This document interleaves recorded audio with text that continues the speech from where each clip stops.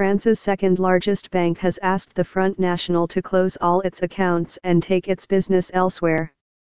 Societe Generale, Societe Generale, told the far-right party led by Marine Le Pen it wished to end its 30-year banking relationship without giving a specific reason.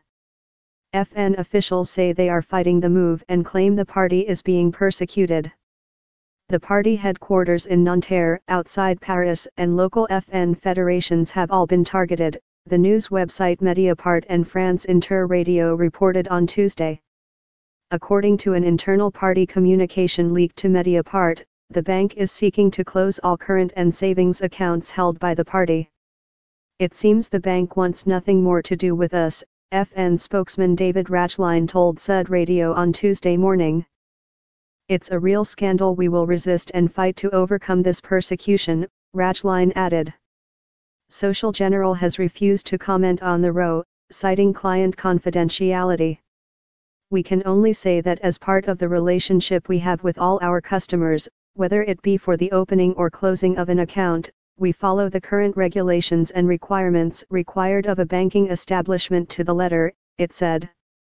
On Tuesday, FN officials denied the decision was made because party accounts were in the red.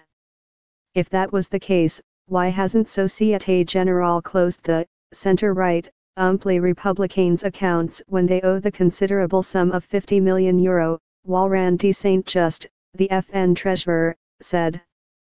He added, the Front National situation is perfectly healthy and there's no reason for any banker to use that as an excuse to so brutally throw out a long-standing customer that has always behaved according to the banking rules. Louis Aliot, the FN vice president and Le Pen's partner, said the party had no direct financial problems. A certain number of financial institutions have difficulty with democracy and pluralism, Aliot told BFM TV. I've noticed that Societe Generale is very generous with Les Républicains, especially when it comes to renegotiating their debts, when they own 50 million euro, which is not our case. He added, the French need to know that democracy is in the hands of the banks and those with money.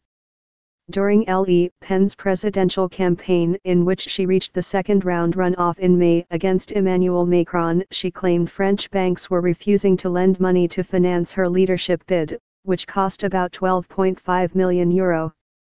This sum will be reimbursed out of state coffers but only after the party's accounts have been inspected and approved.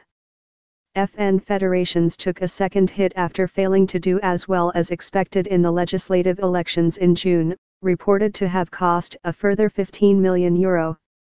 In January, the FN appeared to be struggling to raise campaign funds after Le Pen was asked to repay a 9 million euro loan from a Russian-based bank that had been dissolved.